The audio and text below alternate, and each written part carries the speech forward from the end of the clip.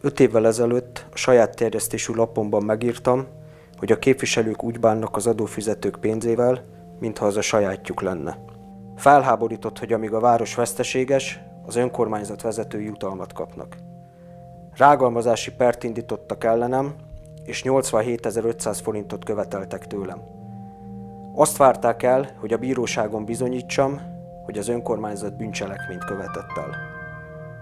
Négy évig pereskedtem, és végül egészen az alkotmánybíróságig kellett mennem ahhoz, hogy megvédjem az igazamat. Megérte kiállnom a véleményem szabadságáért. A jövőben is meg fogom írni, ha visszaélés történik Siklóson. Jogod van a véleményedhez. Kattints a politikus.az.hu-ra, és tegyél te is a szabadabb közbeszédért.